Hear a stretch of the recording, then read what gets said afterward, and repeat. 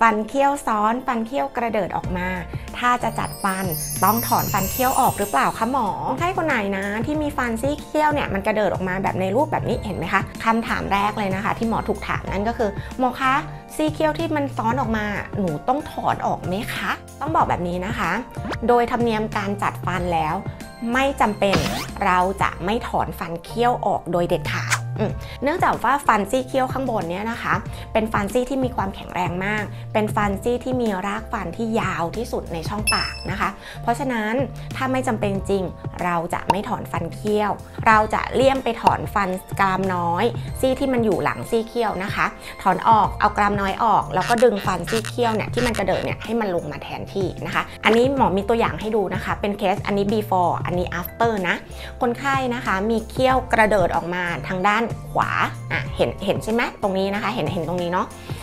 เราเลือกที่จะถอนฟันกรามน้อยนะคะ ซี่ที่มันอยู่ถัดมาจากซี่เขี้ยวนะคะ แล้วก็เรียงฟันซี่เขี้ยวลงมาให้เป็นระเบียบเรียบร้อยอ่านะคะ แต่แต่แต่อย่างที่หมอบอกไป ถ้าไม่จำเป็นเราก็ไม่ถอนฟันซี่เขี้ยวใช่ไหม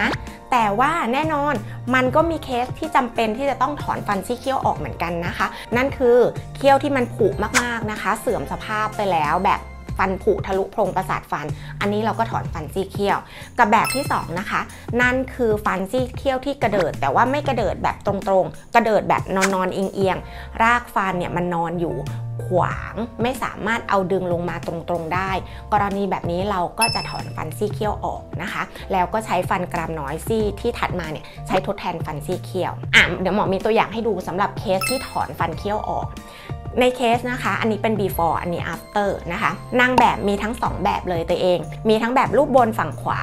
เคี้ยวเนี่ยมันคุดแล้วก็นอนอยู่ อันนี้หมอถอนฟันซี่เคี้ยวออกส่วนฝั่งซ้ายมือนะคะ รูปล่างอะเคี้ยวอยู่ในลักษณะเคี้ยวกระเดิดออกมา แต่ว่า